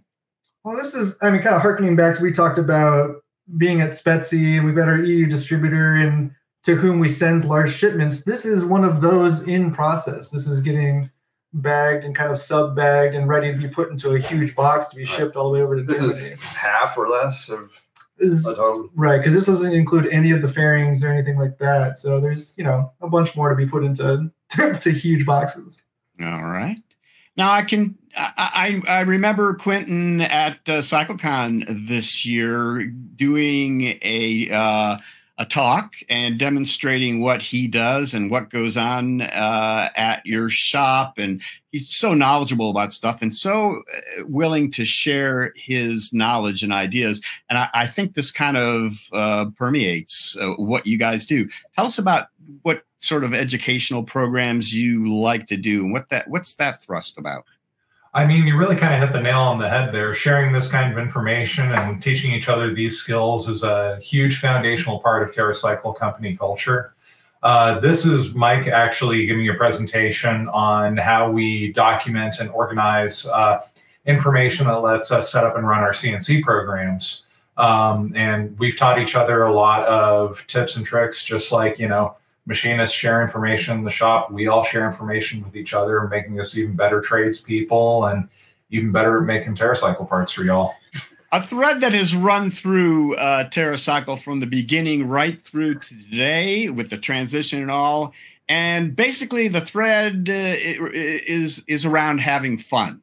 And uh, I think nothing shows that better than this particular glamour shot of Kaz trying to hide himself there, but I was really where you're going with that segue. Yeah, yeah. Well, luckily for you, I went in a good direction. Anyways, talk to me, uh, guys, about the importance of enjoying what you do while you're working. We're going to talk over this photo. Okay. now I'll come back to you. I mean, if, you, if you're not having fun doing what you do, then you're not going to do it as well. You're not going to be willing to to take the time to do it correctly.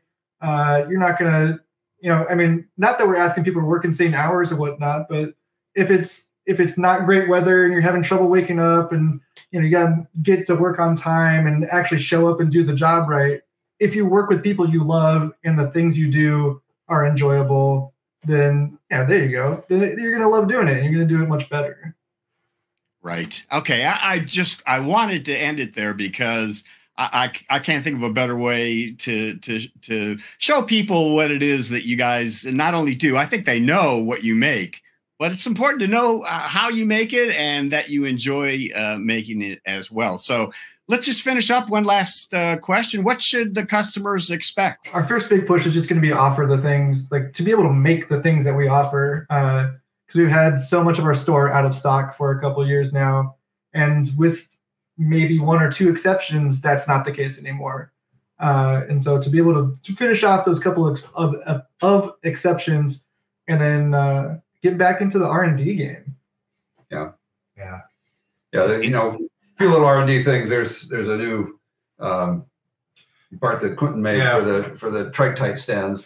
Yeah, we've been experimenting with a few different uh, sort of techniques and practices to help um, make new products and even some existing ones fit better into our workflow. And as you can see, we make robust parts here at TerraCycle. Uh, uh, so is it's okay, right? It's it's okay.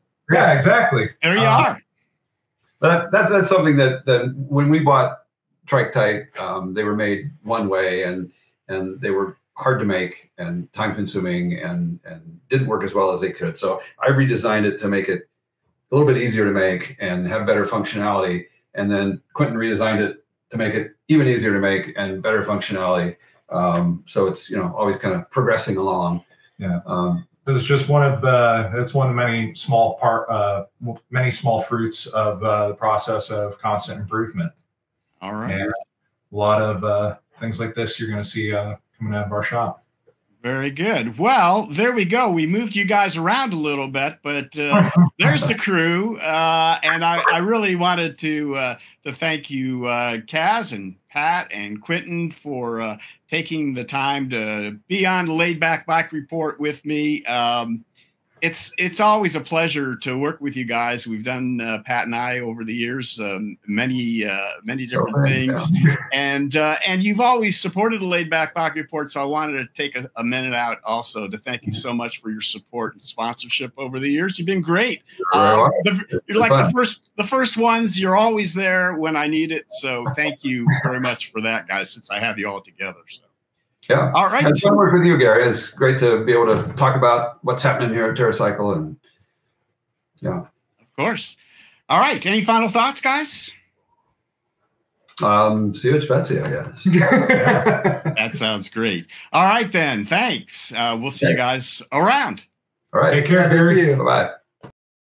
All right. TerraCycle guys are awesome. Uh, Pat has got a full schedule for his retirement. He is already working on the trailer for uh, John Hodkin Inner Tuba. We're gonna John is going to be on the show next month talking about his uh, Mississippi uh, River tour that uh, he's going to be doing, pulling a trailer with his tuba and doing another tour of the U.S. Uh, and Pat's going to help him out with that quite a bit, I know. So, and I'm sure he's got plenty of other things uh, scheduled, including maybe a trip to Spezi. So we might see him there, as he mentioned. So, thanks a lot, TerraCycle. And uh, with that, we're going to go to viewer submissions. And uh, this was one I got uh, from uh, my buddy Jim Snyder, Uh, who is the owner of Ride South? And he messaged me day before yesterday. Here's what he had to say. Ride South Recumbents has been the go to recumbent shop in the South since 1999. I would like to find a passion filled person to continue the mission in the area as I'm contemplating retirement. The website ridesouth.com illustrates an awesome shop in a perfect recreational area near Barnett Reservoir, close to Jackson, Mississippi. A beautiful building and adjacent property with a test track comes with the package. So you can call Jim at uh, 601 291 1004 or email him at uh, oneoak at me.com. And I will uh, post uh, the telephone number and that email in the description of the video here.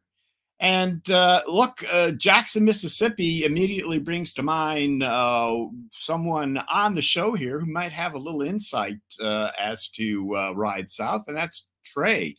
Um, Larry, you want to pop Trey up here? And uh, Trey, you've had experience with Ride South over the years. You're not that far away from them. tell us what you think about all this. Well, I'd love to. So, you know, Jim's Ride South is a, it's a very nice shop um, it ranks up there with many of the nicer shops I've been in, and you and I have been in quite a few. So the showroom is well lit. He's got really nice floor to ceiling windows. It's very spacious. Uh, he's got a large service area, plenty of room to service trikes and bikes, and he's got a test track next door.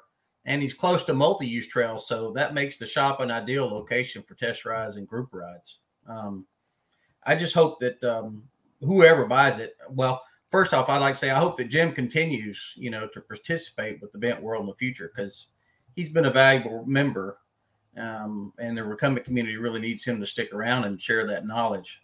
Um, I hope that whomever takes over the shop continues to um, foster like the sense of community and education that Jim has done through the years. Um, he's hosted multiple group rides, destination rides to our, our we've got some really nice multi-use trails here and in the area right next to the shop. Um, we also have some two rails to trails that are always expanding.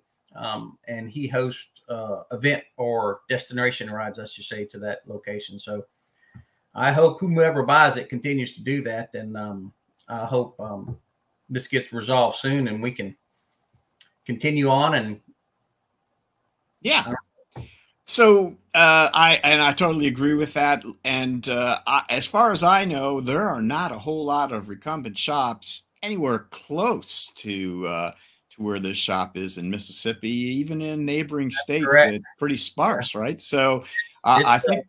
yeah, we don't have much around here. There's we have several really nice bike shops, but and there's a few I think that are attempting to do a bit of recumbent stuff, and I've been by there, but they just don't.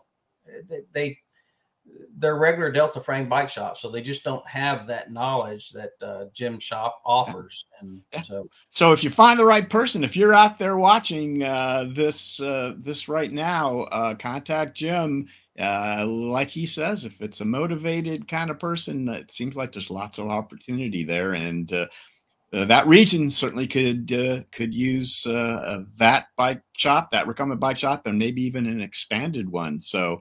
Uh, good luck uh, to to Jim in his retirement, and uh, we hope uh, hope you find someone uh, good to take over there, Jim. All right, guys. So uh, that's the viewer submissions. If you have something you'd like to share on the Laid Back Bike Report, all you got to do is send us an email at uh, laidbackbikereport at gmail.com, and we'll see if we can't get you on the air here. All right, how about uh, our sponsors who make this show possible every month? Let's kick it off with uh, the guys you saw just a few minutes ago, TerraCycle. From fairings to headrests, whatever accessory you have and whatever accessory you need, Pat and crew, or we might just say Kaz and uh, Quentin, have you covered. And Trailside Trikes. If you find yourself in Florida near the Withlacoochee Trail or in Knoxville, Tennessee, check out Andrew's shop and amazing crew. And TerraTrike and Greenspeed trikes. Your vision, whatever it is, TerraTrike has a trike to take you there. And Greenspeed cutting edge designs create performance through Aussie ingenuity. And laid back cycles the top USA dealer for TerraTrike and the premier source for Catrike, Ice, and Greenspeed. We give you the freedom to ride and Avenue Trikes. With the gearing you need and the comfort you want, it's time to enjoy riding again. They're in stock, ready to ship, and only $19.95. Dealer inquiries are welcome. And Azub in addition to the titanium suspension, another technological gem brought to you by Azub is an optional folding mechanism. It's not only easy to operate, but it works great and looks fantastic. And Recumbent PDX, Catrike's West Coast Megastore. Schedule your test ride on trikes with pedal assist electric from both Bosch and Bafang, Rohloff and Schlumpf, component groups, and adaptive builds. Experience the joy of Catrike and Eco Cycles. Adding e-assist to your bent can be a daunting task. With total focus on customer service, the experts at EcoCycles make this upgrade simple and worry-free. Check out EcoCycles today. All right, announcements. Uh, as we mentioned last month, we got to remind you that we are heading to Spezi uh, in Germany uh, next month already. Trey and I are heading over to Lochringen, and uh, we'll be uh, heading out on a road trip after that uh, over to the Czech Republic and and Italy. So we're going to stop at Katanga, and we're going to stop and see Hansa at Azub and uh, there's a shop in uh, in Italy. Uh, we're going to stop and see a recumbent shop there as well. Do a little touring around. So we should have a ton of video for you guys when we get back. So I hope you'll be looking forward to seeing some of that. Now, the next Laidback Bike Report will be April the second, 2 p.m. Eastern time, as always. As I mentioned, John Hodkin in Inner Tuba uh, is going to be on talking about his Mississippi tour coming up very shortly. And uh, we've got some other things we're working on as well for next month's show. Now, if you want to support the Laid Back Bike Report, you can do so by liking us on Facebook, subscribing to us on YouTube, and clicking that little white eye over there. Take you to our Laid Back Bike Report website where you can learn so much more about what we uh, what we're doing. We we've got the past shows, shows that are coming up. You can learn about some of the merchandise that we sell. And uh, you can also click on a link to take you to Patreon. And all these folks have joined, support us uh, monthly for as little as a dollar a month, actually. And we do have uh, a couple of new Patreons this month, Jerry and Elizabeth Deminato from uh, Guelph, Ontario. Good friends of ours, actually, and known them for many years started out riding and become in tandems uh, with them. So, Jerry and Elizabeth, thank you so much for becoming Patreons of the Laidback Bike Report. Now, let's see. Uh, crew guys, come on up. Here we go. So, Larry and Trey, uh, guys, thank you so much for uh, doing a super job as always, uh, making the show go so smoothly, and uh, sure appreciate it uh, as I always do, guys. So, thanks a lot. And uh, folks, thanks uh, to all of you as well for watching this month and every month. And so until next time, from all of us here at the Laidback Bike Report, so long, Bent Riders.